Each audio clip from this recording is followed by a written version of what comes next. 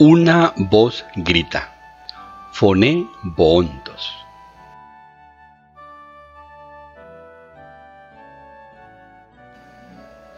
Meditación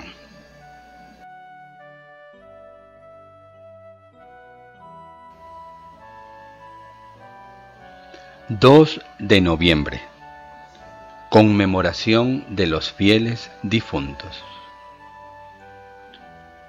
En el día de ayer celebrábamos a todos nuestros hermanos mayores, los santos, los conocidos y los desconocidos. Hoy la iglesia quiere que recordemos, conmemoremos también a una parte de nuestra gran familia de la Iglesia, los fieles difuntos, las ánimas benditas del purgatorio, como las llamamos,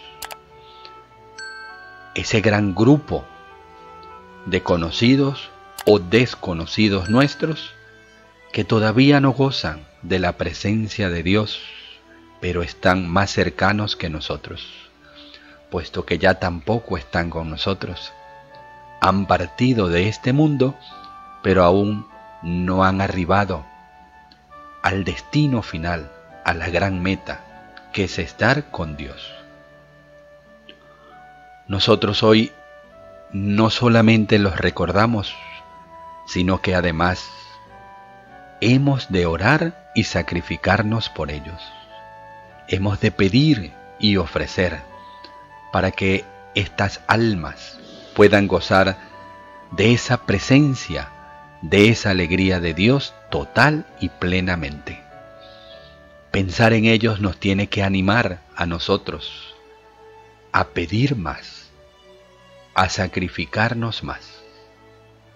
Y de forma especial, la Iglesia siempre, siempre nos ha hecho ver que el lugar más privilegiado para pedir por ellos es la Santa Eucaristía, la Santa Misa.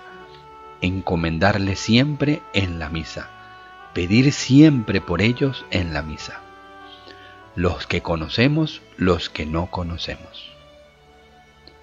Cuando ellos estén junto a Dios para siempre, pedirán por nosotros mientras peregrinamos en esta tierra juntamente con nuestros hermanos mayores los santos.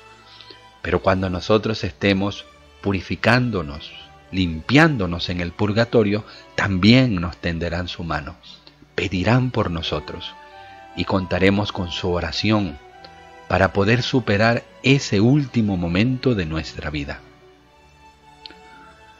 La iglesia también quiere que pensemos en nuestra muerte. Nosotros a veces podemos tener el peligro de verla con tristeza, con melancolía, con dolor. La muerte es el paso, la muerte es el medio para nuestro encuentro con Dios. Es un remedio que Dios nos ha dado para el final de nuestra vida terrena, para el inicio de nuestra vida eterna. Recordemos esas grandiosas palabras de San Alberto Hurtado.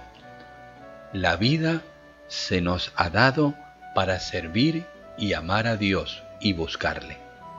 La muerte para encontrarnos con Él y la vida eterna para disfrutar de Él para siempre.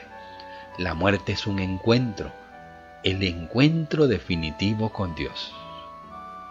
Que nosotros, pensando en el final de nuestra vida, procuremos vivir mejor nuestra vida con nuestros ojos fijos en el cielo, en la gran meta, suplicando a nuestros hermanos mayores, los santos, que nos ayuden y suplicando por nuestros hermanos, llamémoslo intermedios, para que ellos salgan y se unan a la gran familia de nuestros hermanos mayores y también nos tiendan su mano.